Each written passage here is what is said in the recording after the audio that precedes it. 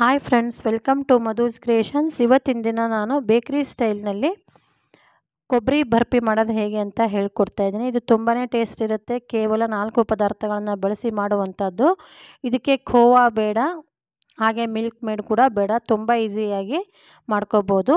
ಹಾಗೆ ಹೊರಗಡೆ ನಾವು ತೊಗೊಂಡಾಗ ಇದು ತುಂಬಾ ಕಾಸ್ಟ್ಲಿ ಇರುತ್ತೆ. ಅದೇ ಮನೆಯಲ್ಲಿ ಮಾಡಿದಾಗ ಕಡಿಮೆ ದುಡ್ಡಿನಿಂದ ಕಡಿಮೆ ಖರ್ಚಿನಲ್ಲಿ ಮಾಡ್ಕೋಬೋದು. ಮೊದಲಿಗೆ ಇಲ್ಲಿ ಒಂದು ಕಪ್ನಷ್ಟು ಡೆಸಿಕೇಟೆಡ್ ಕೊಕೋನಟ್ ಪೌಡರ್ನ ಹಾಕೊಳ್ತಾ ಇದ್ದೀನಿ. ಇದು ಮನೆಯಲ್ಲೇ ಮಾಡಿರುವಂಥದ್ದು ಇದನ್ನ ಮಾಡೋದು ಹೇಗೆ ಅಂತ ನಾನು ವಿಡಿಯೋದಲ್ಲಿ ತೋರಿಸಿದ್ದೀನಿ. ಡಿಸ್ಕ್ರಿಪ್ಷನ್ಸ್ ಬಾಕ್ಸ್ನಲ್ಲಿ ಲಿಂಕ್ ಕೂಡ ಹಾಕ್ತೀನಿ. ನೀವು ಚೆಕ್ ಮಾಡ್ಕೋಬೋದು. ಒಂದು ಕಪ್ನಷ್ಟು ಹಾಲಿನ ಪುಡಿ, ಅರ್ಧ ಕಪ್ನಷ್ಟು ಸಕ್ಕರೆ ಪುಡಿ. ಇವಿಷ್ಟು ಪದಾರ್ಥಗಳನ್ನು ಹಾಕ್ಕೊಳ್ಬೇಕು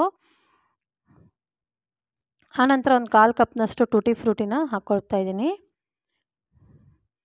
ಟೂಟಿ ಫ್ರೂಟಿ ಇದು ಆಪ್ಷನಲ್ ಇದು ಹಾಕಲೇಬೇಕಂತನಲ್ಲ, ನೀವು ಹಾಗೆ ಕೂಡ ಮಾಡ್ಕೋಬೋದು ಅಥವಾ ಡ್ರೈ ಫ್ರೂಟ್ಸ್ ಕೂಡ ಹಾಕೋಬೋದು.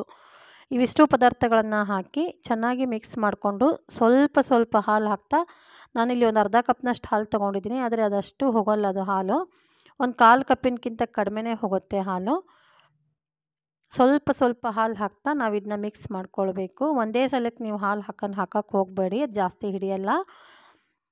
ಸ್ವಲ್ಪ ಸ್ವಲ್ಪ ಹಾಕ್ತಾ ನಾವು ಇದನ್ನ ಗಟ್ಟಿಯಾಗಿ ಕಲಿಸ್ಕೊಳ್ಬೇಕಾಗತ್ತೆ.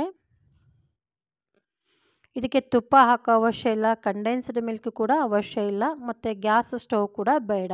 ತುಂಬಾ ಈಸಿಯಾಗಿ ಮಾಡ್ಕೊಳ್ಬೋದು, ಆದರೆ ಇದನ್ನ ಒಂದು ಎರಡು ದಿನದಲ್ಲಿ ತಿಂದು ಖಾಲಿ ಮಾಡಿಬಿಡ್ಬೇಕು. ಯಾಕೆಂದರೆ ಇದನ್ನ ಇಟ್ಕೊಳ್ಳೋಕ್ಕಾಗಲ್ಲ ಅಥವಾ ನೀವು ಫ್ರಿಜ್ಜಿನಲ್ಲಿ ಒಂದು ಐದು, ಐದರಿಂದ ಆರು ದಿನದವರೆಗೆ ಇಟ್ಕೋಬೋದು. ಜಾಸ್ತಿ ದಿನ ಇಟ್ಕೊಂಡು ತಿನ್ನೋಕ್ಕಾಗಲ್ಲ. ಯಾರಾದರೂ ಮನೆಗೆ ಗೆಸ್ಟ್ ಬಂದರೆ ಅಥವಾ ಮಕ್ಕಳು ಏನಾದರೂ ತಿನ್ನೋಕ್ಕೆ ಕೇಳಿದಾಗ ನಾವು ದಿಢೀರಾಗಿ ಈ ಒಂದು ಸ್ವೀಟ್ನ ಮಾಡಿಕೊಡ್ಬೋದು. ಹೊರಗಡೆ ತುಂಬಾ ಕಾಸ್ಟ್ಲಿ ಇರುತ್ತೆ. ಮನೆಯಲ್ಲೇ ನಾವು ಸುಲಭವಾಗಿ ಮಾಡ್ಕೊಳ್ಬೋದು. ಹಾಗೆ ಇದನ್ನ ಮಾಡೋದಕ್ಕೆ ಜಾಸ್ತಿ ಟೈಮ್ ಕೂಡ ಬೇಡ. ಐದು ನಿಮಿಷ ಆದರೆ ಸಾಕು. ನೋಡಿ, ಇವಾಗ ನಾನು ಇದನ್ನ ಚೆನ್ನಾಗಿ ಕಲಿಸ್ಕೊಂಡಿದ್ದೀನಿ ಇದು ಪುಡಿಯನ್ನು. ಆನಂತರ ನನಗೆ ಇದು ತುಪ್ಪ ಅವಶ್ಯ ಏನಿಲ್ಲ, ಒಂಚೂರು ತುಪ್ಪನ ಹಚ್ಕೊಂಡು ನಾನು ಇದನ್ನ ಸರಿಯಾಗಿ ಇನ್ನೊಮ್ಮೆ ಮಿಕ್ಸ್ ಮಾಡ್ಕೊಳ್ತೀನಿ. ಚೂರು ಗಟ್ಟಿ ಅಂತ ಅನಿಸಿದರೆ ನೀವು ಮತ್ತೆ ಹಾಲು ಹಾಕ್ಕೊಳ್ಳಿ ಅಥವಾ ಅಷ್ಟು ಕರೆಕ್ಟಾಗಿದ್ದರೆ ಹಾಕೋ ಅವಶ್ಯನೇ ಇಲ್ಲ. ನೋಡಿ ಅರ್ಧ ಕಪ್ನಲ್ಲಿ ಇನ್ನೂ ಹಾಲು ಉಳಿದಿದೆ ನಂದು. ಇನ್ನೊಮ್ಮೆ ಸ್ವಲ್ಪ ನಾನು ತುಪ್ಪ ಹಚ್ಚಿ ಇದನ್ನ ಇನ್ನೊಮ್ಮೆ ಚೆನ್ನಾಗಿ ಮಿಕ್ಸ್ ಮಾಡಿಕೊಂಡು ಇದನ್ನ ಸಾಫ್ಟ್ ಆದಂತಹ ಒಂದು ಡೋ ರೆಡಿ ಮಾಡ್ಕೊಳ್ತೀನಿ. ಅದಕ್ಕೋಸ್ಕರ ತುಪ್ಪ ಹಚ್ಚಿದ್ದೀನಿ. ಇದಕ್ಕೆ ತುಪ್ಪ ಬೇಕು ಅಂತಲೇ ಅವಶ್ಯ ಏನಿಲ್ಲ ಇದನ್ನ ಚ, ನೀಟಾಗಿ ನಾವು ಇದನ್ನ ರೋಲ್ ಮಾಡ್ಕೊಳ್ಬೇಕಾಗತ್ತೆ. ರೋಲ್ ಮಾಡಿಬಿಟ್ಟು ಒಂದು ನಾನು ಬಟರ್ ಪೇಪರ್ನಲ್ಲಿ ಇದನ್ನ ಸುತ್ತಾ ಇದ್ದೀನಿ. ನೋಡಿ, ಈ ಥರ ಸುತ್ತಿ ನಾವು ಫ್ರಿಜ್ನಲ್ಲಿ ಐದು ನಿಮಿಷದವರೆಗೂ ಇಡಬೇಕು. ಐದರಿಂದ ಹತ್ತು ನಿಮಿಷದವರೆಗೂ ಇಟ್ಟರೆ ಅದು ಚೆನ್ನಾಗಿ ಸೆಟ್ ಆಗುತ್ತೆ. ಬಟರ್ ಪೇಪರ್ನಲ್ಲೇ ಇದನ್ನ ಸುತ್ತಿಡಬೇಕಾಗತ್ತೆ.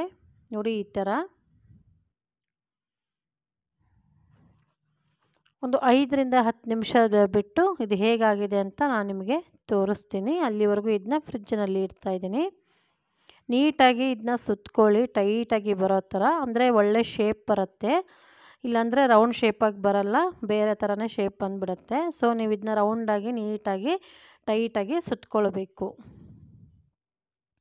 ಒಂದು ಕಡೆ ಸಣ್ಣದು, ಒಂದು ಕಡೆ ದಪ್ಪ ಕೂಡ ಆಗಲ್ಲ. ನೀಟಾಗಿ ಸುತ್ತು ಸುತ್ಕೊಂಡ್ರೆ.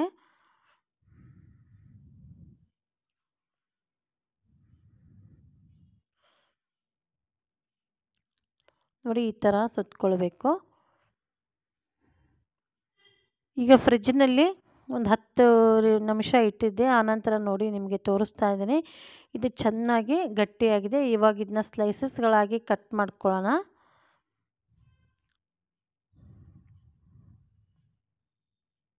ನೋಡಿ ಈ ಥರ ಮಾಡ್ಕೊಳ್ತಾ ಇದ್ದೀನಿ.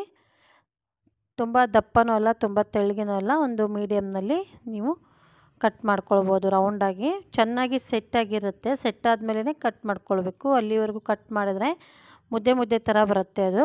ಕಟ್ ಮಾಡೋಕ್ಕೆ ಹೋದಾಗ. ನೋಡಿದ್ರಲ್ಲ, ಎಷ್ಟು ಸುಲಭವಾಗಿ, ಎಷ್ಟು ಈಸಿಯಾಗಿ ಮಾಡ್ಕೋಬೋದು ಅಂತ. ಗೆಸ್ಟ್ ಬಂದಾಗೂ ಮಾಡ್ಕೋಬೋದು, ಮಾಡ್ಬೋದು ಅಥವಾ ಮಕ್ಕಳಿಗೆ ಬೇಕು, ಏನಾದರೂ ತಿನ್ನಬೇಕು ಅಂತ ಅನ್ನಿಸ್ದಾಗಲೂ ಕೂಡ ಮಾಡ್ಕೊಳ್ಬೋದು ಈಸಿಯಾಗಿ.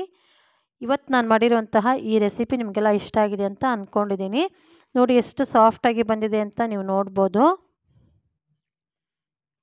ಹಾಗೆ ನಿಮ್ಮ ಫ್ರೆಂಡ್ಸ್ಗೆಲ್ಲ ಈ ವಿಡಿಯೋನ ಶೇರ್ ಮಾಡಿ. ವಿಡಿಯೋ ನೋಡಿದ ಎಲ್ಲರಿಗೂ ನಮಸ್ಕಾರ. ಧನ್ಯವಾದಗಳು.